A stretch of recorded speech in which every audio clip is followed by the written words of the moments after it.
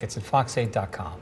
Bird watching is a popular activity around Northeast Ohio. As our traveling man David Moss shows us, one of the best places in the country to see our fine feathered friends is only a one tank trip away.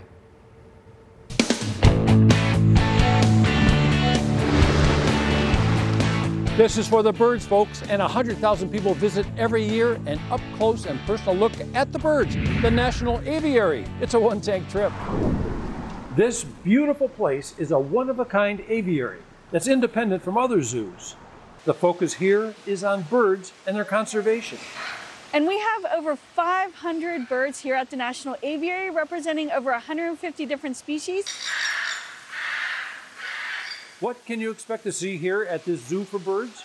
The National Aviary is unique. We have beautiful, naturalistic, free flight habitats. So you're in the habitats with the animals and you can just, it's like going to a tropical oasis right here in Pittsburgh. We have the tropical rainforest. We have our wetlands room with beautiful flamingos on their beach. It's just a very unique experience to be able to come.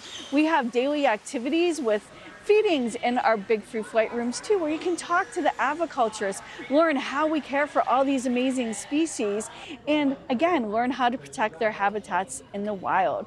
So it's just a great, unique place that you're gonna come have such a connection to nature and go away learning so much more while enjoying an amazing experience. During our visit, we were able to be part of a small group animal encounter featuring an African penguin named Wyatt. Not only are the visitors allowed to pet this little guy, but you'll also learn fascinating facts like there are only 18 species of penguins in the world.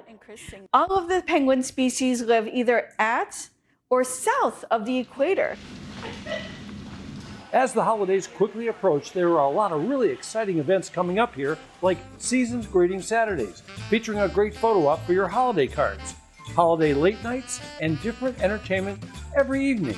Such as painting a beautiful photo along a professional artist, trivia, or building a gingerbread house. And we have a holiday brunch. If you love brunch, we have an amazing brunch here at the National Aviary as well. The National Aviary, a great place to learn and relax. And best of all, it's only a one tank trip away. David Moss, Fox 8 News. Pretty neat. And for more details, directions, and links to today's one tank trip, just go to fox8.com.